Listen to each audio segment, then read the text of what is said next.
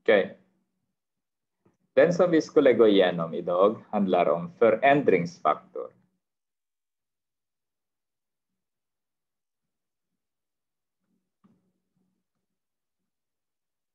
Okay.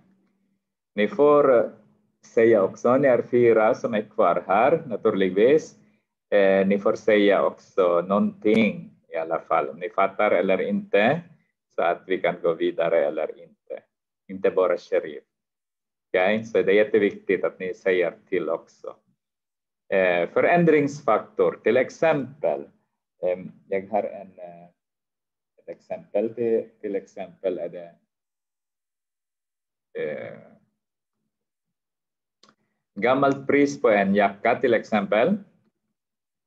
Eh, 1500 kronor. Och eh, vi säger att det är rea på gång.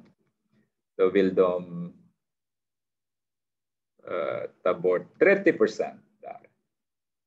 Så nu ska vi räkna nypris. Hur skulle ni räkna nypris då?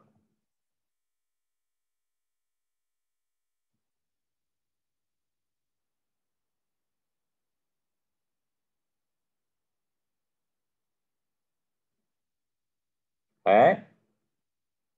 Vad säger ni?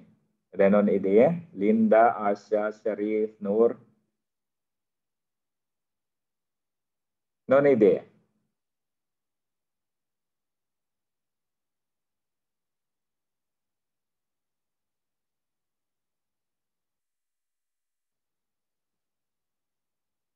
Trettio procent, inte 30 kronor. Okej, okay.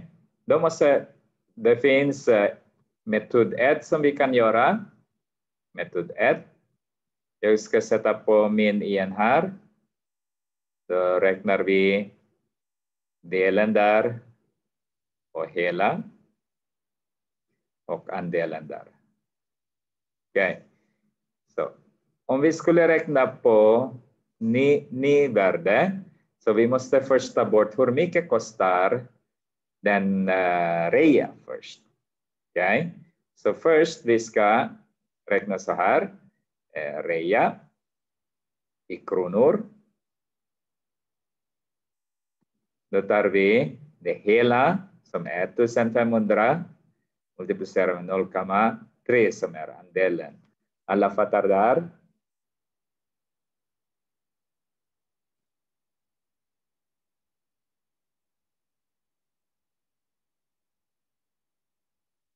Okay, jag fortsätter då. Och då säger man så här att man, det blir 450 kronor.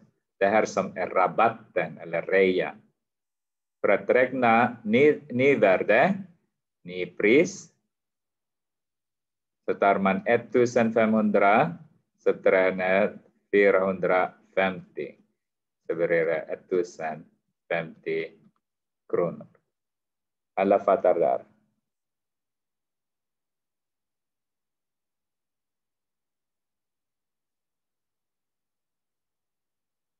Så nya priset är 1050. Alla fattar där? Eller är det någon som, vill inte, eh, som inte fattar så att jag vet?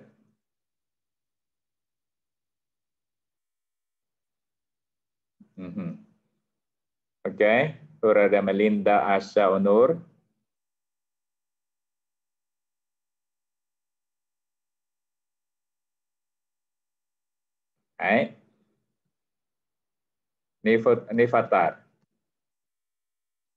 Säger du?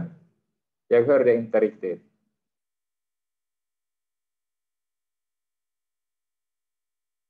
Nej, då fortsätter jag. Men det finns också en annan metod. Den första metoden så tänker man på förändringsfaktor. Där kommer det ordet förändringsfaktor. Då skriver man skillnaden mellan om det är, om det är rea så tar man 100 procent minus 30. Då har vi 70 procent eller 0,7. Om det är rea så tar man minus. Okay. Nu är det enklare. Nypris direkt. Nypris är lika med 1500 multiplicera med 0,70. Och det är också 1050 kronor. Okej? Okay? Så det är på något sätt det enklare med förändringsfaktor. Där det bara skillnaden mellan dem eh, från 100, därför att det är 100 procent från början minus 30. Det är det bara 70 procent av priset som är kvar. Om man säger så. Vi tar en, ett annat exempel. Då. Eh, gammalt pris eller gammalt värde. Men jag tar priset då. Är, det är fortfarande 1500. kronor. Nu, den här, det här, vi säger att det handlar om guld. Vi pratar om guld nu då. Okay. Guld ibland går upp i pris. Så denna, denna, det här, denna gången, guld höjs med 30 procent. Okay? Den höjs med 30 procent. Det är exakt samma som vi har gjort innan. Nu ska vi tänka på att vi ska räkna ny pris. Den ska vi räkna. Och vi har metod 1. Och vi har metod 2. Och metod 1 är, vi ska tänka på förändringen i kronor.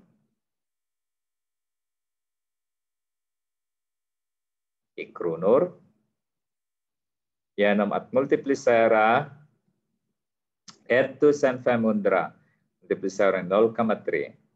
Och vi har räknat det redan innan. Det är 450 kronor. Och sen för att räkna ny pris eh, nytt pris kanske heter det. Nytt pris. Nytt pris. Förlåt. Nytt pris. Så har vi 1500 addera med 4500. Varför adderar vi denna gången? De höjde priset. Då är det 1950 kronor. Okay. I metod 2 vi har förändringsfaktor.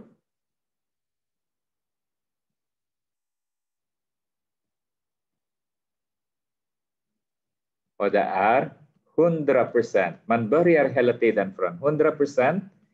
Denna gången adderar vi med 30 procent. Därför att den höjs. När den höjs, då adderar vi istället. Har vi 1,130 procent eller 1,3. Den här som kallas förändringsfaktor. Där uppe innan, den där som kallas förändring, förändringsfaktor 0,7. Okej, okay? så på nytt pris nu då. Nytt pris är bara att räkna det 100 procent, 1500 multiplicera med 1,3. Okej, okay. så blir det den här 1950 kronor om ni multiplicerar det. Frågor i den där? Det är inte så mycket. Okay. Nu ska vi titta på ett annat, en annan situation, till exempel jag har gammalt pris, eh, 2000. Och nypris är 1500. Så har jag hur mycket är, hur många procent är rea? Det är en fråga. Hur många procent är rea? Hur räknar man detta? Det finns två sätt att man kan räkna. Som vi har gjort äh, igår Så tar man skillnaden, räknar man förändringen.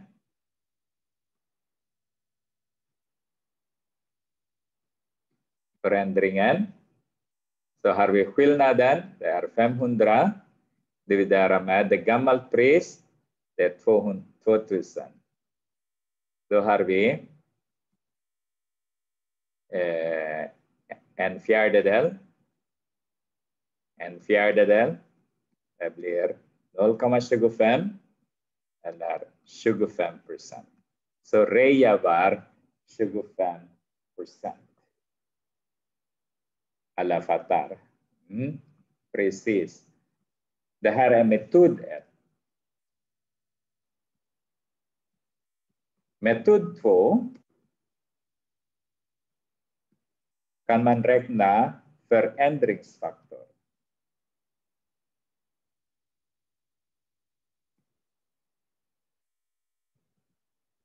Och förändringsfaktor är hela tiden nypris dividerat med gammalt pris. Så nypris är 1500, gammalt pris är 2000. Då har vi tre fjärdedelar eller 0,75. Så förändringen nu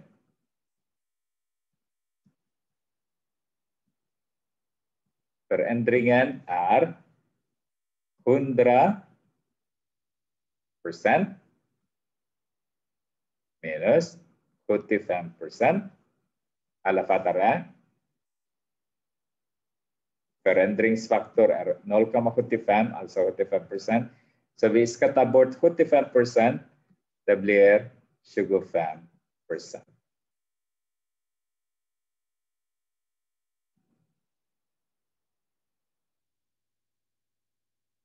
Nej, 75 procent. 75 procent, 0,75.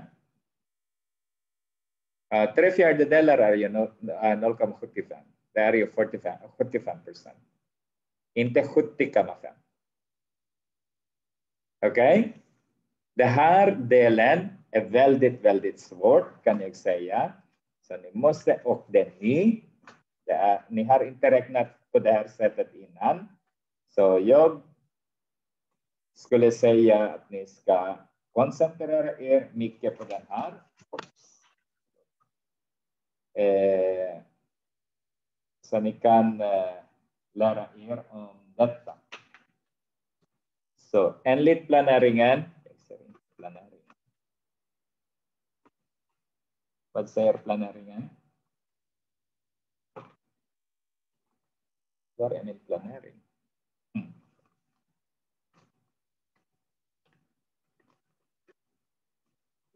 Jag ser inte planeringen. Ja. Okay. Enligt planeringen så vi skulle ni göra det tills på torsdag. Sidan 176 till 181. Uppgifterna 34 till 60. Så jag hoppas att ni har jättemånga frågor på torsdag. Okej? Okay?